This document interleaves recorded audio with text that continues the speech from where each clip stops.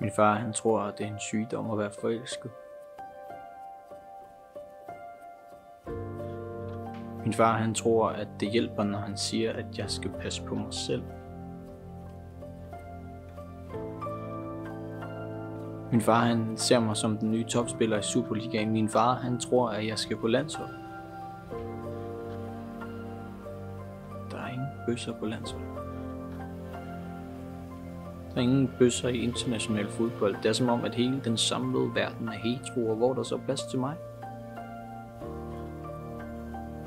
Koraler dør, når de er stressede. Jeg er en glitcher, der smelter, og det er helt okay at være homoseksuel, siger alle mine venner. Der er bare ingen andre, der er det. Der er ingen, der ved, at de taler om mig, når de kalder hinanden for svans. Som om, at det betød kylling. Som om, at det betød narrøv.